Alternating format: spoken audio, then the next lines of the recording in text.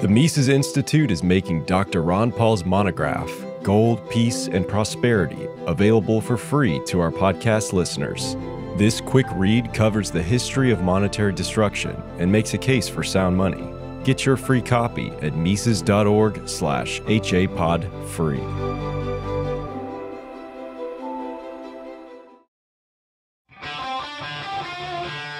This is the Human Action Podcast, where we debunk the economic, political, and even cultural myths of the days. Here's your host, Dr. Bob Murphy. David, welcome to the Human Action Podcast. Thank you. Thank you for inviting me. Well, sure thing. So, uh, you're here to discuss your new book. If maybe you can hold that up for the people who are watching the video version of this. Sure. It's on FDR, the New Deal's War on the Bill of Rights. Um, so maybe the first thing you can explain is so I I have a book, The Politically Incorrect Guide to the Great Depression, the New Deal, and I touched on this kind of stuff. But yeah, I just scratched the surface when I was going in, and it's the the conventional wisdom is that FDR was a great leader. Of course, he led us through World War II and the new and the Great Depression. And the one asterisk is, oh yeah, you well, there was the whole Japanese internment camp thing, but I think most Americans don't even really know what that was. And anyway, it wasn't FDR's fault, and he was probably pressured into doing it. So you're here to set the record straight. Yeah, that's exactly the way it's treated. Sometimes a little bit more subtle than that. People will say, well, you know, he shouldn't have done it. But, and the buts include claims that there was massive uh, public pressure for him to do it.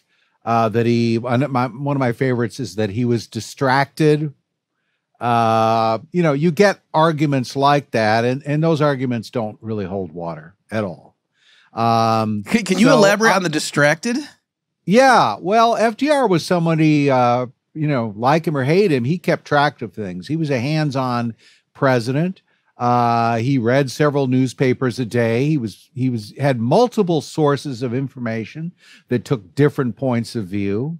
And he had uh, sources of information that were urging him not to intern Japanese Americans. They included none other than his attorney general, Francis Biddle. They included FBI Director J. Edgar Hoover. They also included Secretary of Interior Harold Ickes. And there were a lot of people that just didn't think this was a good idea, and he went ahead anyway. Now, FDR is often depicted as a hands-on president as mm-hmm. a that's that's the selling point for people that that are fans that he he take he's a take charge kind of guy that he knows what he's about and mm-hmm. he does um and uh that uh you know he's not he's not going to be manipulated by anyone but when it comes to japanese internment he is depicted as a kind of clueless guy that's a creature of events. He's sort of well meaning, but he's got all these other things on his mind. When, if you look at FDR's record, uh, he had always had a kind of suspicious attitude towards Japanese Americans. He'd written op eds in the 1920s for a Georgia paper in which he said, California, they're right to uh, prevent the Japanese immigrants from owning land. They're right to ban interracial marriage their right to uh, U.S.'s right to stop Japanese immigration because you don't want those two races mixing.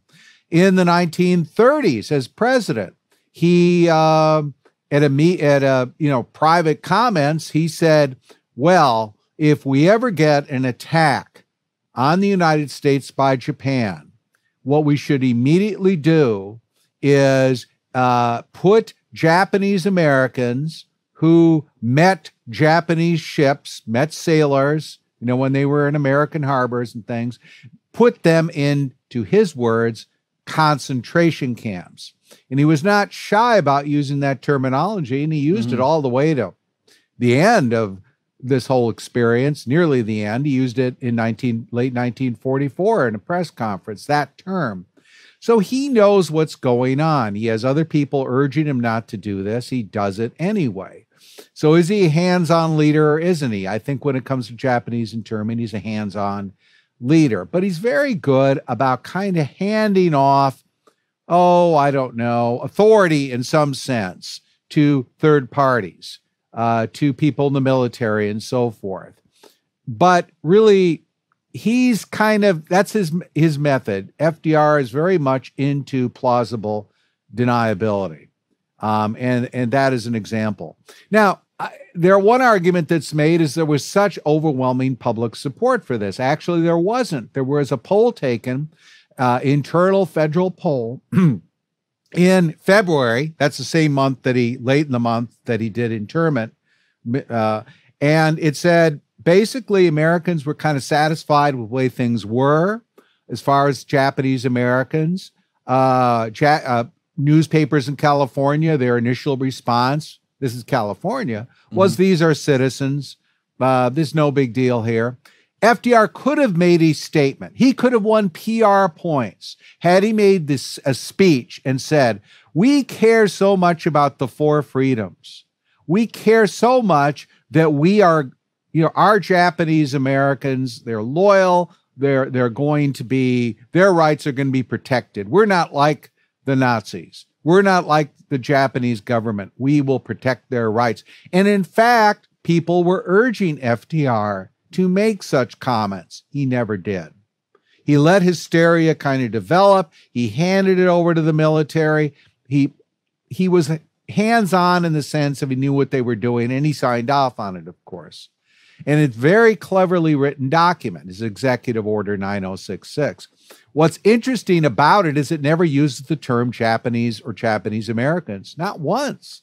Mm-hmm. And so Congress had to fund this, and they said, well, you're talking about other persons. Who are these people? It's like the Constitution's references to slavery in a way. And uh, they all knew what, what it was, but he never mentioned it. It was very interesting the way it was written. And it was written in an open ended way that, as FDR himself said, this will enable us to intern Japanese Americans in Hawaii. And after he issued his famous executive order, for quite some time, he said, I've always believed we should intern Japanese Americans in Hawaii. What would that have meant? That's 40% of the population of Hawaii. Okay, for one thing. So what is how is he going to do this? He was going to transport all the Japanese population, man, women, and children, to one of the smaller islands. And uh, finally, the commander on the ground kind of stepped in and basically, subtly, he didn't want to do it. He said, well, gee, you know, isn't that going to cost a lot of money? Don't we have ships fighting in Midway and places like that? Or don't we need those transport ships for other purposes? And the logistics and the, the consequences for the Hawaiian economy would have been devastating. So for all those reasons, it didn't happen.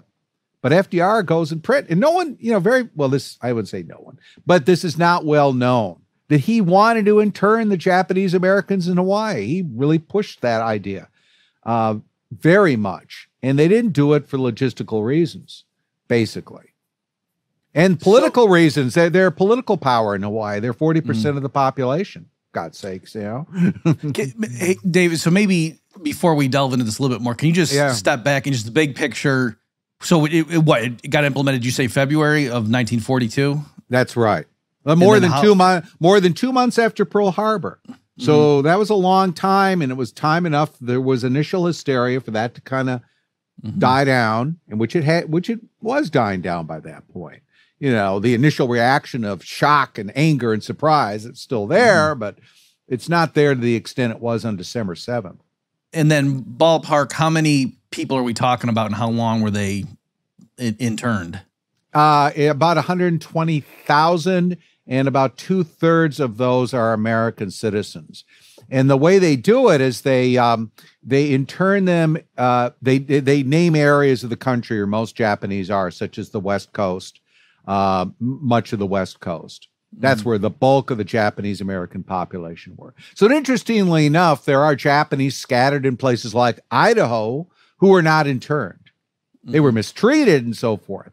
But if you were a Japanese American who happened to live in New York, you were not interned.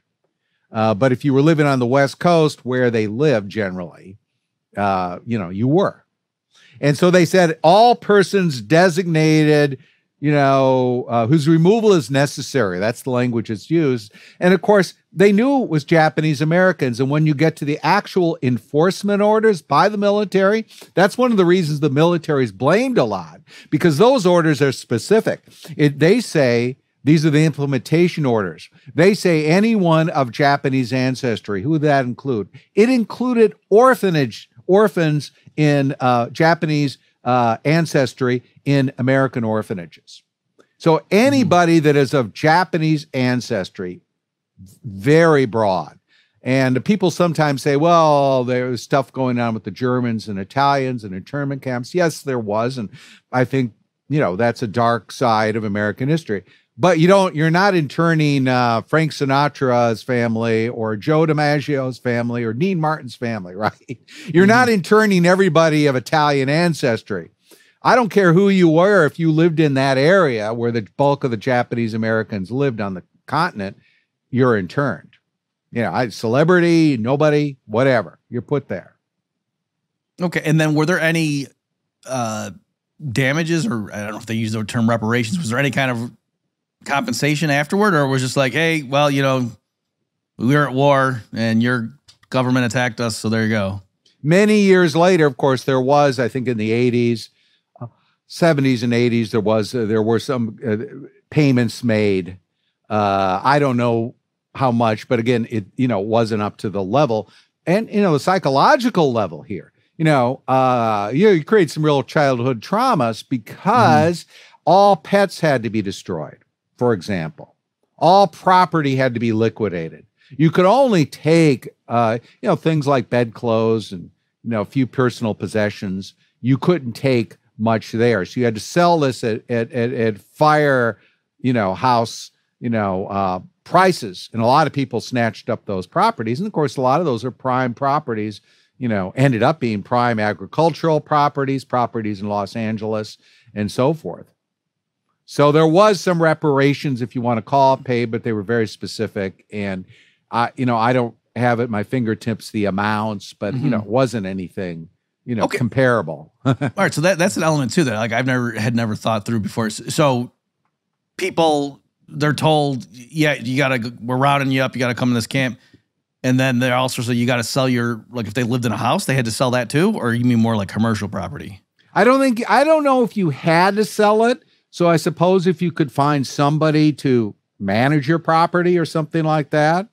But of course the property was going to go to pot um, you, you, know, you had to pay taxes on the property and so. Oh, I, I, see what you're saying. So the point yeah. is being, hey, if you're going to be detained for an indefinite amount of, you know, while the war is going on, you probably don't want to just go in while everyone hates your guts and just leave your house sitting there unattended because you might yeah, as well try to get I something for it. As yeah. I understand it, again, you're you're asking me some specific questions I should mm-hmm. know ready answers to. But I think basically that's the way it was, right? Mm-hmm. Uh, you know, somebody would take care of your property or something like that. You know, yeah. You didn't literally have to sell, but you know your whole family's being taken. Right, right. right? So in practice, yeah, and yeah, everyone's doing it all at the same time. Yeah, now I will say this: there wasn't you know this sort of formal apologies and all that till much, much later, decades later.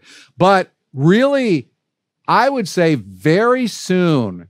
Even before the end of World War II, there's a lot of people that saying, "Boy, that was a mistake." Mm-hmm. There was a lot of regret. And Earl Warren, you know, had been governor of California and been instrumental in the whole thing. He like welcomed the back and, you know, made a big deal about this. Uh, so uh, there were there were a lot of second thoughts by the end of the war. Roosevelt, this is one of the indictments of him. Let's assume mm-hmm. we say, all right, hysteria, let's buy into that theory. If that theory is true, he keeps them there. In 1944, this is long after America's, you know, on the offensive and so forth in winning the war. Um, and uh, this is long after, by the way, Japanese Americans are recruited to fight in their own units for the United States and are very successful. He is being urged in 1944 by top people in the administration, again, people like Ickes and uh, Biddle and so forth, saying, well, Mr. President, you know, the crisis time is over with. Can't we release them? And he would just put it off. And he'd talk about things like the California primaries coming up. Mm-hmm. Right. And it was clear, these statements from insiders, that he was thinking about the electoral consequences. So he kept them there all the way through the presidential campaign. Then he knew that the Supreme Court was going to rule on it. So this is like in December 44. So he got ahead of the game and announced well, we're gonna, you know, we're we're gonna wind down the the camps. It was sort of like it was already going to happen, likely, um, and his he sort of gets ahead of that decision after the election. Right. Right. Yeah, and um, and he sort of has this. Well, some people have told me it's no longer necessary, and you know maybe uh, maybe we can release them. And of course, people have been telling them that for a long time, right? He was disingenuous, basically lying because people would say we don't have to have them there anymore. Even a lot of people that have been for the idea thought it was you let them go now. Come on, Yeah. um, no, they didn't. I mean, they, and and really the camps remained they wind wound down. So I don't think the last people, inmates, if you want to call them that, I think that's a good term, were not out of the camps till about 1946. They, you know, wound out slowly. Yeah. Right. Right. So after his death, you know, he still Mhm. had people in the camps. and it, you know, well after the war is over. Yeah, he died in, after the war's over. He died in April 45.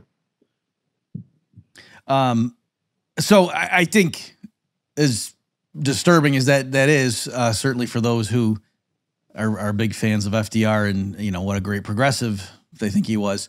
Uh, there is you know, you can say, well, you know, Japan, the Japanese forces bombed Pearl. Hawaii wasn't a state at that point, which you know I remind people at some point. But um, you in your book, you've covered all sorts of things that happened like in the 30s. So this isn't just merely an aberration that you could you could attribute to. Well, you know, there's a war going on. That, uh, for example, can you speak a bit? I was intrigued about the uh, the FCC and how the Roosevelt administration would use that to chill dissent. Yeah, you know, it's interesting you bring up about the the Japanese. I thought that was such a well-known story, and my initial plan in the book was not to even include it because I'd say, Mhm. well, other people have covered it, you know, cite that. David Theroux, the Independent Institute, late David Theroux came to me and said, David, you have to have a chapter on that. He was so right Oh, definitely. because yeah. I learned how it's connected to these other things. Uh, I also learned some new things about it that I wasn't aware of. Um, so it was necessary. However, okay, I would put, I would say it's like a puzzle. If you're going to look at FDR's civil liberties record, the big, gigantic piece is Japanese internment, no doubt about it. But it's one of many pieces in the puzzle. Mhm. All the other pieces are inter are interconnected. So you asked about the FCC. Well, this was interesting story too because I thought, well, I'm going to limit this. I mean, this the focus of this book is FDR. So uh, you know, start 1933, right? FDR and radio, and I said no, can't do that because the political context for radio had already been determined. FDR exploited that context, but it had already been determined. It had been determined uh, in 19, well, it made officially determined, I guess, 1927 when we created the Federal Radio. The, the Federal Radio Commission was created on one of the great small government presidents of American history, Calvin Coolidge, one of the biggest leaps forward in governmental control. Um, and it was recognized that way at the time. People said this is one of the, the biggest pieces of things that ever happened. And what Coolidge did basically, or what is he signed off on it, but the guy that really was behind it was his Secretary of Commerce, Herbert Hoover. And what it did was uh, basically said, okay, the radio, the airwaves, radio airways belong to the public, the Mhm. government, the government controls. And so we're going to have, you know, the, we're going to set up this commission. What we're going to do is we're going to cull down the numbers of stations. So they cut several hundred, 27, 28. These included socialist stations. These included labor union stations. These included political stations. Uh, there was a wide diversity of different kinds of stations up till 1927. They cull them down, they reduce them, and then they, through various things like the equal time rule and other requirements, they try to make them generic. The federal government pushes to make them very similar. Right. Oh, you have a certain number of amount of news, certain amount of entertainment. If you have political stuff, you're going to be careful with that. You're going to provide equal time. You're you're you're you're not going to let this be a political platform, that kind of thing. So, all right, that happened in 27. But what did you have before that? Well, others have written about this. Murray Rothbard wrote about this, for example. And that's sort of where I first found out about it. Others have written about it. Others wrote about the time. It was no mystery. That what you had is de facto property rights system developing in the early 1920s, which meant essentially you could get a license. And then the federal government say, all right, you've got a license for a radio station on a certain airwave, right? Uh, uh, uh, wavelength. Um, and uh, this is your wavelength and, and that kind of thing. Um, and uh, essentially, it, people would buy and sell these like property, mm-hmm. right? Um, and so you had a property rights regime. And as a result of that, there was very little federal censorship. The federal government had virtually no power to censor. Uh, you know, it was very limited in, in any case. It had much, there was much greater power of, of governmental censorship in the print press because you had prior restraint laws. So, really, in the early 20s, up till 27 or so, radio was freer than the print press. Mm-hmm. I think you could make a good argument for that. So, it was a very free system. There were people like uh, uh, uh, Herbert Hoover that didn't like that because he thought this is the public's airwaves. Uh, we can't just, you know, commercialize it.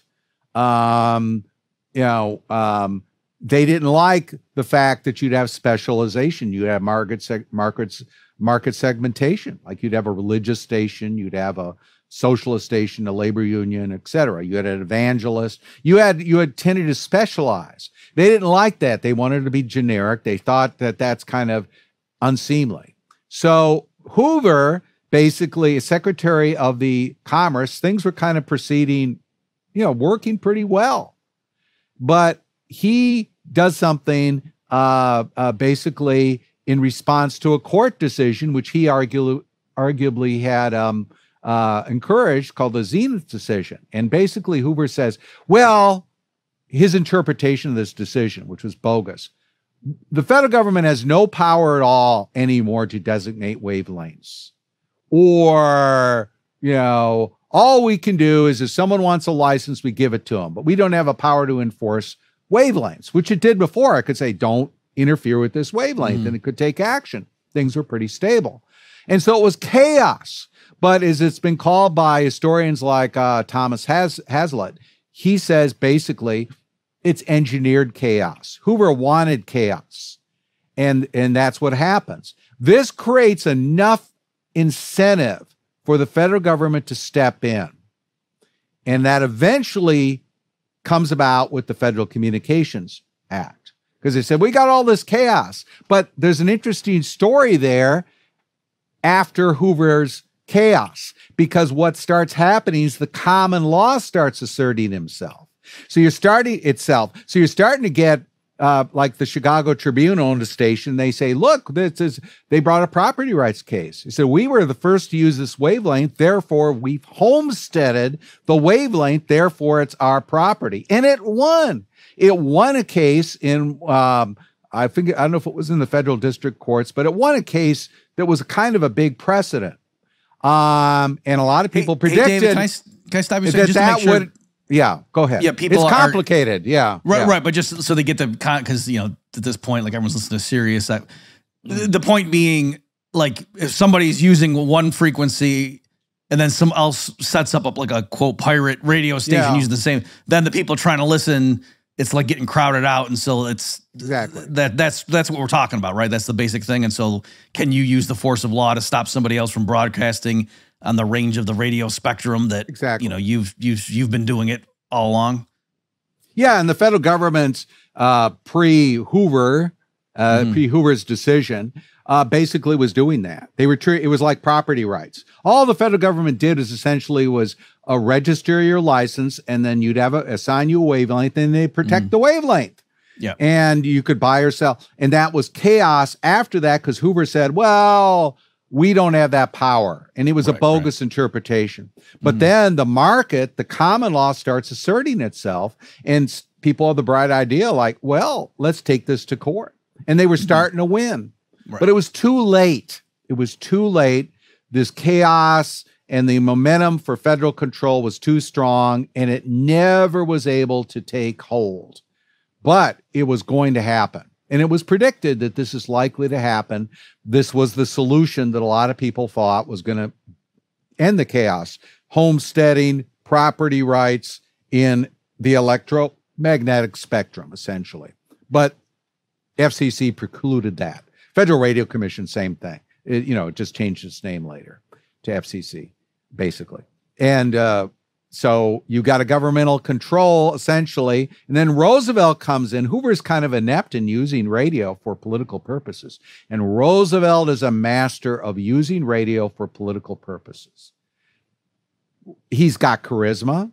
People said he would have been a natural talent in radio if he had not been president. He is able to go to the fireside ch- chats, which are a lot like Trump's tweets early on. Mm-hmm. He goes directly to people.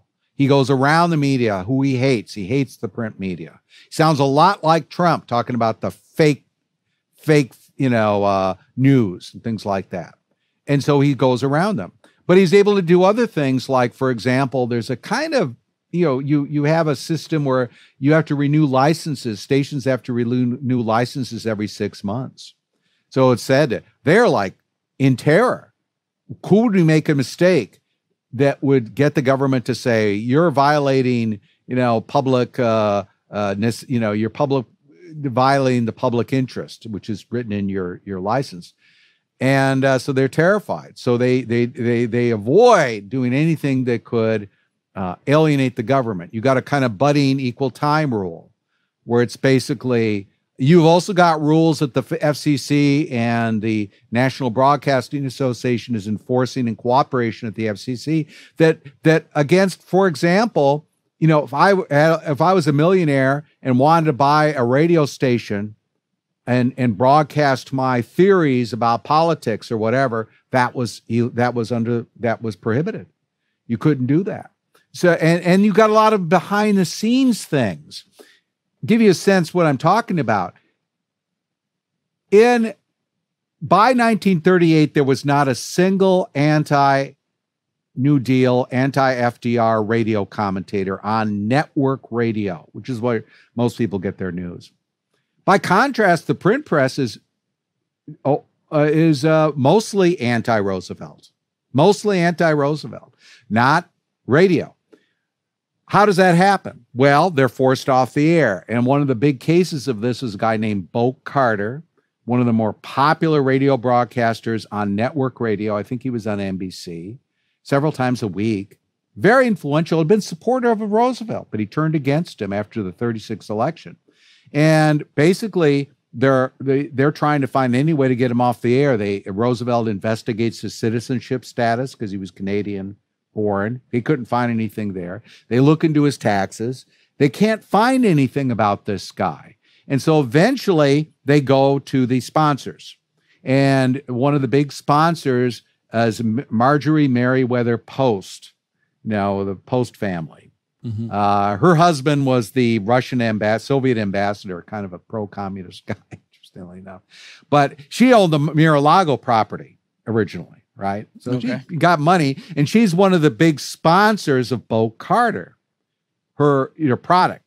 And so they basically go. She's a big Democratic supporter, big Democratic donor. So they go to her, and then they put pressure through her and other advertisements on Carter. Say he needs to tone it down. He needs to stop this stuff, and then eventually he sort of he's forced off the air. And there are no anti FDR radio commentators left, but he was a very powerful one. He's kind of forgotten figure now, but really was, you know, tremendously, uh, you know, had very high ratings and so forth. And besides, you know, so that one can obviously say that that certainly is not in the spirit of uh, open discussion of opposing views and whatever. But you say, well, if they just leaned on some donors, okay. But even though they might not have found it written out somewhere in black and white, you also believe like the actual uh, non-renewal of licenses, like certain stations were literally prohibited in the sense that they didn't have their licenses renewed. Yeah, you've got it's it's hard to simplify. You got a wide range of things. You've got things like the the renewal. You've got things like um, uh, you've got things like the National Broadcasting Code, which is a private code that prohibits things like, um, oh, like I said, uh, some millionaire buying a station, right?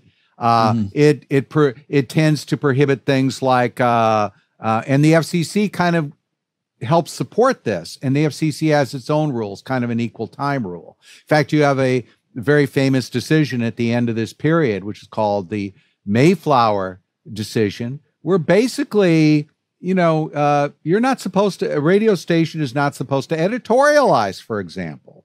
Mm-hmm. You know, you can't editorialize on the behalf of the station. Um, so you get a lot of restrictions that make it very hard for anybody to have sort of a political point of view, right? Someone like Elon Musk, if he was a radio baron, he'd, he'd, you know, he couldn't do it, right? There are mm. so many rules and that kind of thing to make it very difficult. So it's a very controlled medium. It's hard to generalize about it. There's the FCC, there's the kind of uh, strong arming of advertisers. There's the National Association of Broadcasting Code, which has given its it's basically created to appease the FCC. There's kind of equal time rules that are developing that you go way back to the early 30s. Um, and there's a kind of terror that people on the networks are constantly going to the administration saying, Is this okay? Can we do this? Do you want us to fire this guy? Do you want to fire this guy? You know, they're very concerned. Now, if you look at the kind of smaller independent stations, they're a little freer, uh, but they don't have the listenership. The networks have the the dominate in terms of listenership. So it's not a hundred percent because you you'll have lo- these local stations. In fact, there's an anti New Deal radio show that I've written about called the American Family Robinson, which is sort of through early version of syndication is carried by a lot of these smaller independent stations. So there's stuff going on that's interesting. I always wondered if Ayn Rand had, you know, heard these shows because they sound a lot like, you know, stuff she's arguing. Um, mm-hmm. um, very, you know, in, initially at least, it it's watered down towards the end because even they get worried about this. They get defensive about this because they're accused of, you know, promoting this this this point of view and they they water it down eventually too but that was kind of limited to these smaller independent stations where you might have some stuff like that happening but network radio is is is is controlled completely mm-hmm. What i liked uh, one, one of the things I f- saw you made the point that roosevelt typically was pretty careful about you know plausible deniability and all these yeah. different things and we can kind of just look at the results and you don't you know it's hard to pit but you pointed out that um, he did have a recording device if you remember the part i'm talking about installed the, and then the wendell was a, willkie affair yeah that was one of my i think one of the best stories out there because how do you find out about roosevelt is it in print usually not it's where people would you know his close advisors would meet with him or other people. Roosevelt might have a few drinks, get relaxed, and start saying things, mm-hmm. start admitting things. You'd have that happen. And you can piece that together. But this is one that's quite interesting. Roosevelt had a taping system installed in the White House. No, and people, you didn't ask people's permission or anything like that. So he'd tape a lot of things, including uh, news conferences, but they left the machine on. So it picked up a lot of stuff. Um, and he wanted to tape news conferences because he he thought he was being misquoted a lot. So he said, "I mm-hmm. can, you know, I can look back at this and." And it, but it was but a lot of you know Oval Office conversations were recorded and so forth. But this is an interesting one where Roosevelt says, you know, uh, there's a story out there that Wendell Willkie, the Republican candidate in 1940, is having an affair with this woman that was uh, actually she was Isabel Paterson's boss at the uh was it the New York? Oh god.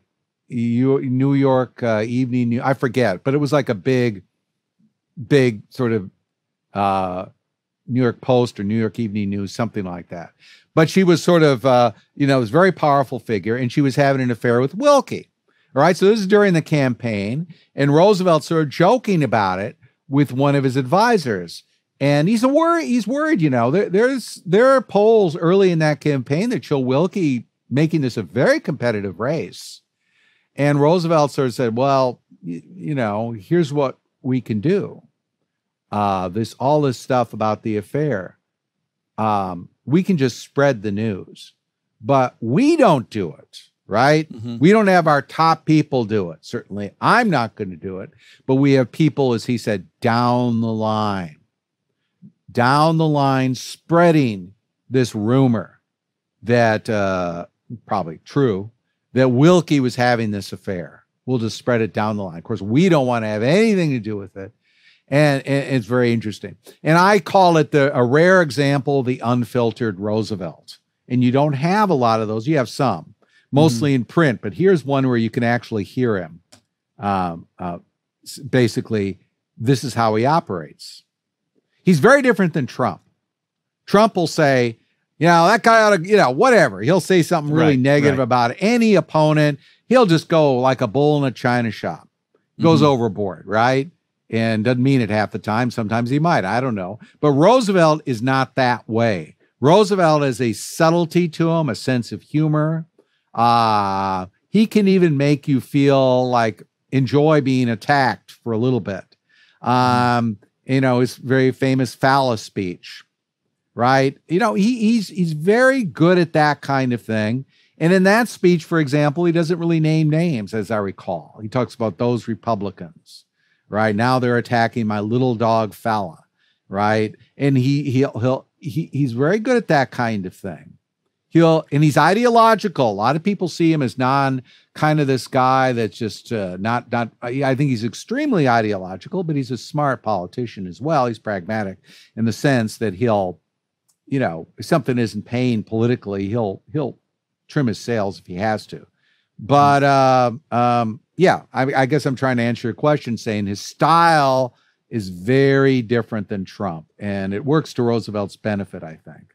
Well, yeah, but I liked it, it resonated with me that you know because I like I say I did some a, a book on the New Deal, and that what you said that most of what we know about what happened behind closed doors, there's no paper trail. It's just people later in their own memoirs and stuff and what they recollect. Because I remember one uh, once they were like fixing the price of gold, and I forget who the guy was, but somebody said something like, uh, "If the American public had realized." You know what? We were behind closed doors, and how Roosevelt would come up with what the price of gold we were going to fix it at that day, they would be shocked. In other words, like you yeah. know, occasionally, like he, like he Roosevelt like might have had a drink or two in him, it was it's a just, lucky. I think he said it's a lucky number. You know, yeah, so yeah, just say, like stuff yeah. like that about what we're gonna do, like yeah. almost almost getting intoxicated by the power of we can just go set the price of gold. Like this is invigorate.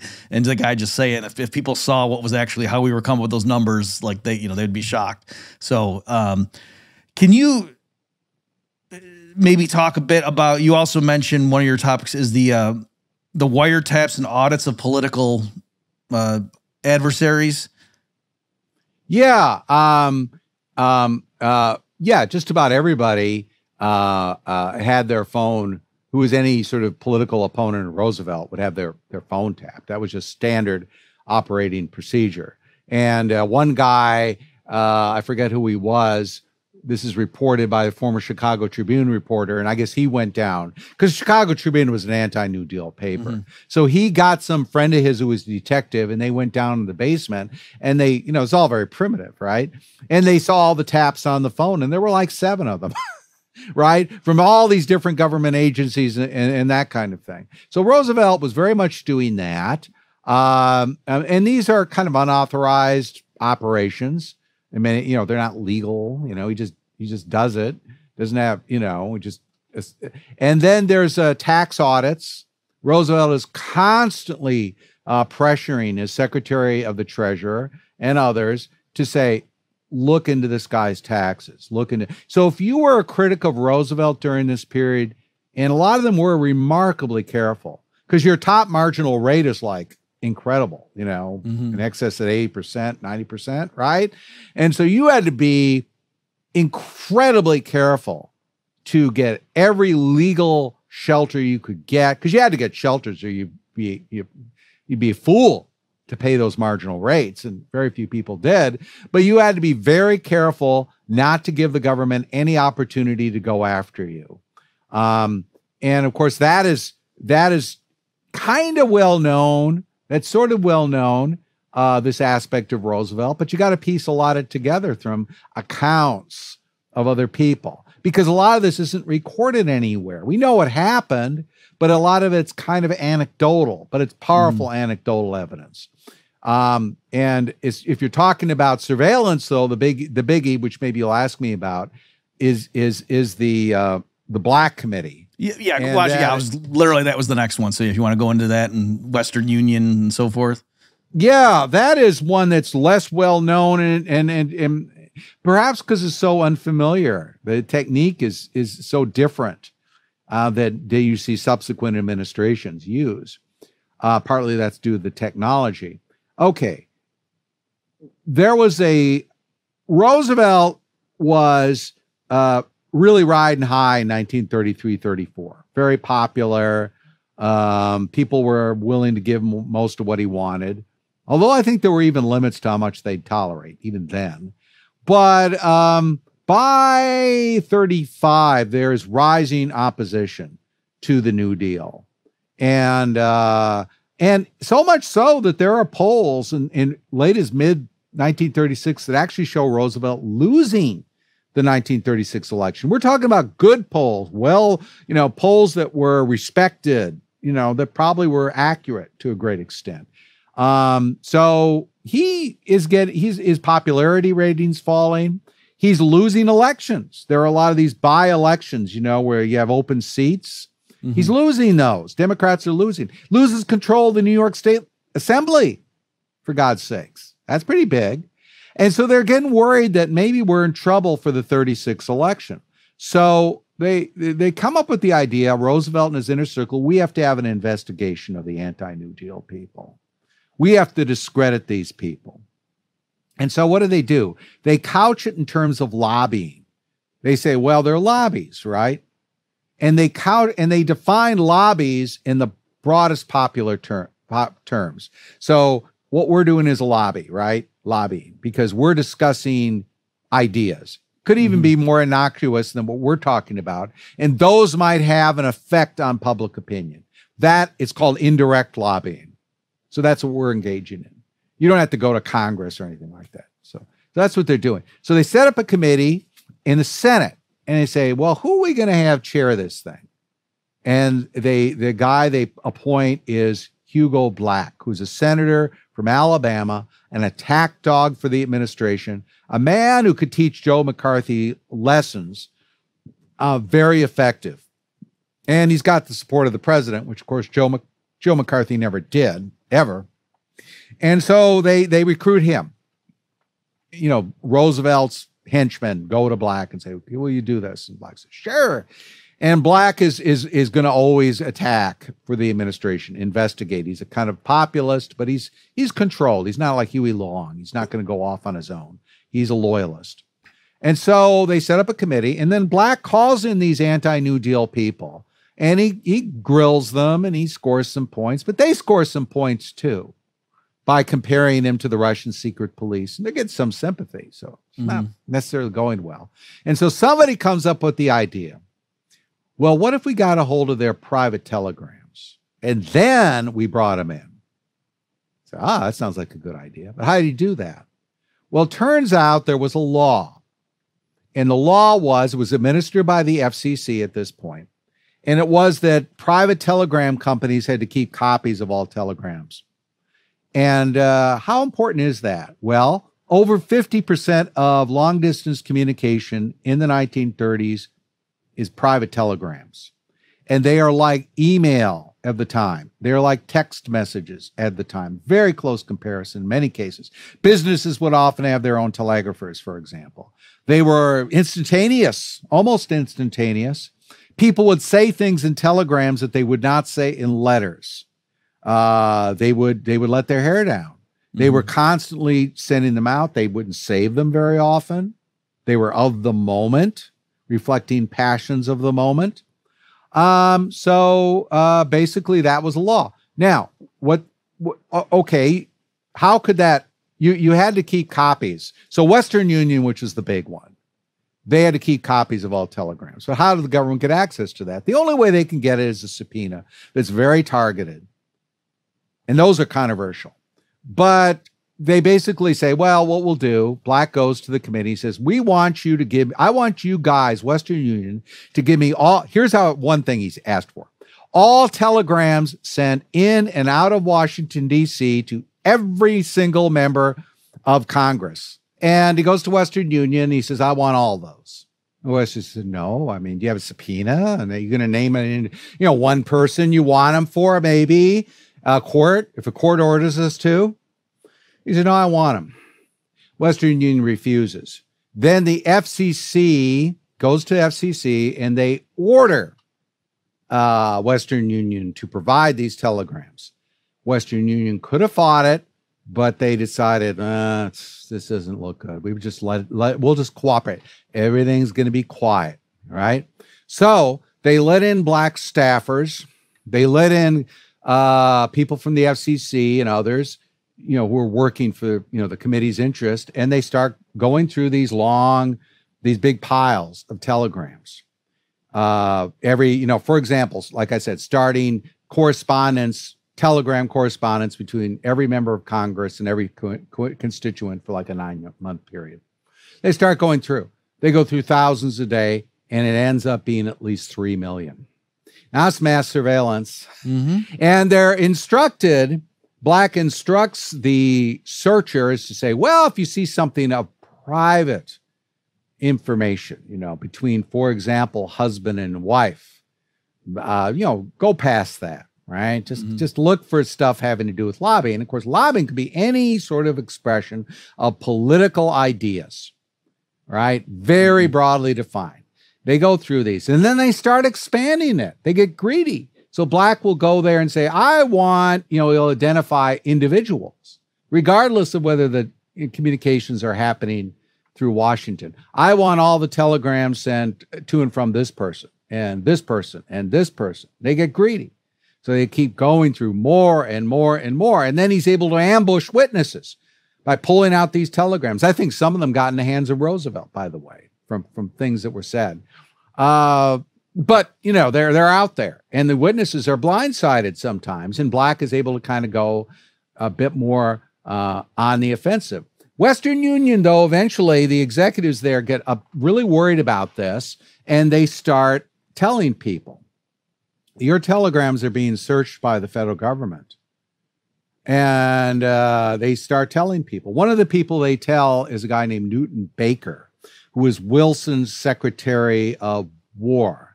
And Baker was a kind of moderate, easygoing guy, a kind of a, a little critical of the New Deal, but a little supportive. You know, he basically wasn't a big threat.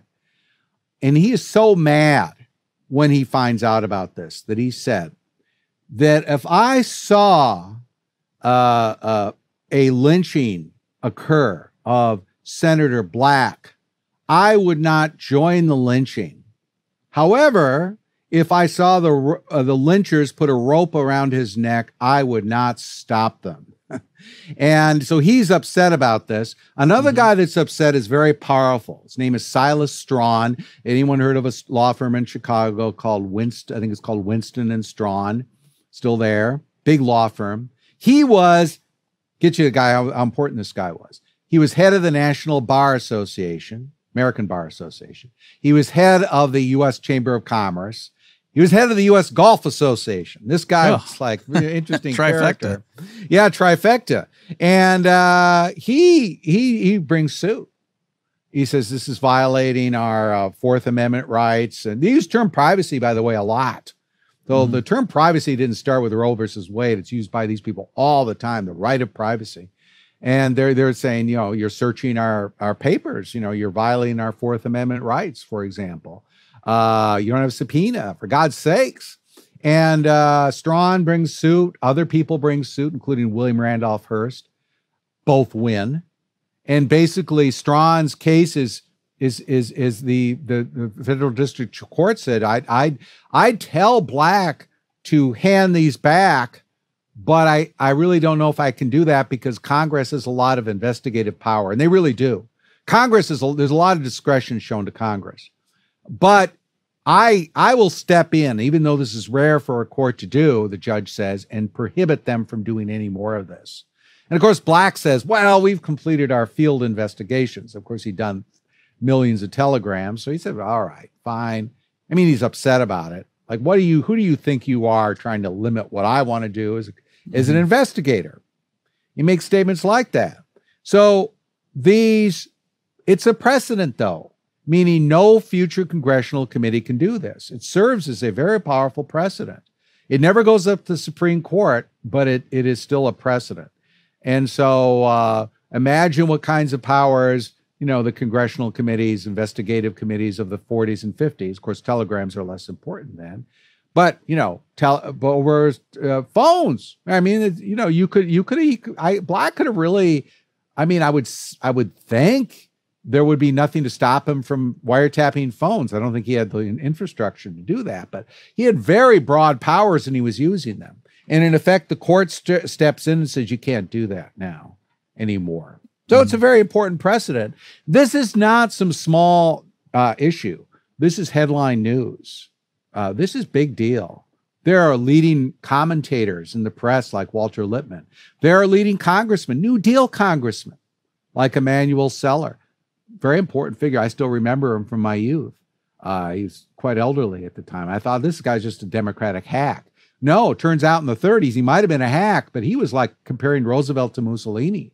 But he was still a, a New Deal guy. Mm-hmm. So that's what's interesting to me that a lot of the New Dealers were willing, a lot of people on the left were willing to call Roosevelt out on things like this. The ACLU, they were kind of divided, but a lot of the people in that group were willing to call him out on this stuff. Um, so, and just to um, remind yeah. people, this wasn't because oh hey there's a war going. This was all stemming from roosevelt was worried about not getting reelected. Yeah this is 1935 1936 mm-hmm. right? It's not not even the war clouds even aren't, aren't really on the horizon i guess you could say. Maybe they are but i mean as far as the us government is concerned it really aren't. Yeah. Well i think maybe we have time for one more topic. Uh, what about the the sedition trial? What you cover in your last chapter? Is that something you want to give the quick synopsis of? Yeah, um, it's it. You know what's interesting about the story is we got a lot here on a lot of issues, uh, race and and so forth. We got a lot of, in there, but this one you got to talk about, and it was a trial that is very timely. You know, when I started this, which was, I mean, I started research on this 15 years ago. I never imagined that we would be seeing I mean, it would have been hard for me to imagine. Sedition trials make a comeback. It was sort of old hat. But mm. these this trial was a mass sedition trial. And it was under a piece of legislation called the Smith Act. And there was a provision in the Smith Act that that said that um, well, you can't promote insubordination in the uh, military, right? Because it might interfere with recruiting or something. It's thin as a pretext. So they get the government gets the idea of going after these uh, uh, opponents of Roosevelt. And originally, they wanted to, uh, to go after key people like uh, Charles Lindbergh, uh, like members of Congress. Uh, sound familiar, right? Mm-hmm. But there was enough civil libertarianism in the federal government, including Attorney General Biddle, who's was willing to get Roosevelt something. But he said, "No, we don't really have a case." And and part of the argument problem with the from their standpoint was all these people, the main opponents of Roosevelt, once Pearl Harbor happened, they said, "We support the war. We're all in." So what are you going to do? You know, Roosevelt's still mad at them for opposing his policies before the war, but he he can't really make a case now against them that they're doing anything like that now. So they they can't do it. And Roosevelt wants to prosecute these big names, but Biddle pushes back. And so finally, as he he said he get Biddle sort of authorizes a prosecution of about 32 people from all around the country. So they're scooped up from, oh, I don't know, rural Nebraska. They're scooped up from uh, all over the place, right? And maybe some guy, some crank, very often might have some anti-Semitism in him, maybe not, but a lot of them did kind of a anti-Semitism. Who has a little newsletter, but a lot of the anti-Semitism of these people kind of went back to the kind of the populists and that kind of. Some of them. One guy was in his 80s, right? He'd been like had these sort of views a long time, and these are like kind of cranks. They're they're not very powerful. They have these little newsletters and stuff. Some of the and they scoop them all up. and They don't even know each other, and mm-hmm. they bring them all to Washington, and they are accused of being part of a worldwide Nazi conspiracy. And the government is trying to connect these people together into some big plot, and they can't even show that they did anything regarding the military. They can't even make that connection. So the government's case is going on and on and on. And initially, this this conspiracy trial, it's called the Great Sedition Trial, 1944, has a lot of public support, a lot of support in the press because it's like, gee, isn't it great that we're giving these people a chance in the court? They wouldn't do it because they're Nazis, and turns out a lot of them really weren't Nazis. You know, they were just kind of cranks and things, um, varied views. And so there's rising opposition, including from a lot of the lawyers who are court appointed, who are pro New Deal lawyers. Mm-hmm. Who and these guys have their own lawyers. So you got 32 defendants with their lawyers, you know, you know, shouting objections in a small courtroom. The judge is is kind of uh can't take it. He's getting up there in years, probably my age, but he's you know he can't take it, and he uh he eventually he just dies, right? And had a heart attack. And the trial's still going on. And the government's saying, "Well, what do we do now?" And they this is 1944, I think he died. Maybe it was 45. I think it was 44. And the government debates about whether to continue the case, but they say, you know, it's too much trouble. And it takes a couple of years, but they ultimately dismiss all the charges and it all falls apart. And there's never a conviction. But it is a big deal. And within a few months of the conclusion of this trial, the death of the judge, you actually start to see the beginnings of the sedition trials under the Smith Act mm-hmm. of communist figures and pro communists. And irony, of course, is a lot of these communist types who were prosecuted had supported the sedition trial against mm-hmm. the right wingers who they hated. And the communists were just shameless. They they wanted to prosecute. There was a sedition separate trial on sedition charges and other things against the Socialist Workers Party, which were Trotskyites. And the pro-Stalinist Communist Party hated them that it sicked the government on these uh, these uh, you know political rivals, you know, uh, for essentially the same arguments they were making against them. So it was kind of interesting. Uh, how that all worked. But FDR was sort of willing to give the communists whatever they wanted to a great extent. Mm-hmm. They were seen as allies to the administration, you know, in, in that period. And, and just to uh, put all that again in sort of the, the theme of the book, or one of the themes, is that you're saying FDR pushed forward on this in the beginning, even though some of his advisors were telling him, no, there's nothing here, let's just let this go. And he, so this wasn't that his his aides were telling him to do is he reluctantly went along with it because he had qualms at sleeping at night knowing he was violating civil liberties. That wasn't what was going on here. That's a very good way you frame that because often people tell me, well, the worst president on civil liberties is Woodrow Wilson, right, for the 20th century, right? And I say no, because Wilson, you would see examples with Wilson where there were attempts to prosecute people for sedition, and Wilson would kind of go to bat for them. He would mm. go to the uh, secretary or to the attorney general and said, Do you have to really prosecute this guy? And the attorney general would say, Yeah, we do. And Wilson would defer to them. Now, there were mm. times when he really went after people like Eugene Debs. I don't want to defend him too much, but you often see that, though, where he would kind of defer. He didn't really mm necessarily want to do it. With Roosevelt, he wanted to do it consistently he wanted to go further over and over again than his own attorney general, than his own advisors. That is what you see. He's pushing them to do things they don't want to do. And there is a strong civil liberty consciousness that has arose, partly because of World War I. At that time, a lot of people said, boy, we made a mistake there. We went overboard. Mm-hmm. Partly because of prohibition, all the violations of civil liberties associated with that had an imprint. So if you were going to law school in the 20s and 30s, if you were reading the leading law school texts, like by Zechariah Chafee is a good example, leading text on civil liberties, you took in some of that stuff. So you were kind of reluctant to do this on Japanese internment. A lot of the top people in the Justice Department, including Biddle, but people under him were even more radical in saying, we don't think this is a good idea. So there was a civil liberties consciousness that had seeped in and Roosevelt is is at odds with that. Um, so yeah, that's that's an interesting point. So I, on that standard, I would actually say he's worse. Now it doesn't look as bad outside of Japanese internment be, because there aren't as many people being thrown in jail. But that's partly because there just aren't many people opposing the war anymore. There were a lot of people opposing the war in World War One, but after Pearl Harbor, very few people were opposing the war, at least openly. And so, what are you going to do? You know, Roosevelt can't do much. So they go after those few people, including some pacifists that were still making anti war comments. And I've got some good examples there of a pacifist pro peace paper that's anti New Deal. And they are, their mailing rights are taken away during the war. And they don't do anything, you know, revolutionary or they don't go and urge people not to register or anything, maybe in the abstract, but they aren't involved in anything like that, but they go after them. Uh, the Socialist Workers Party, they suspend their newsletter, partly because, you know, they, you know, they're against all wars, they say, because mm. it's the capitalist war. But they, you know, that's just a general statement.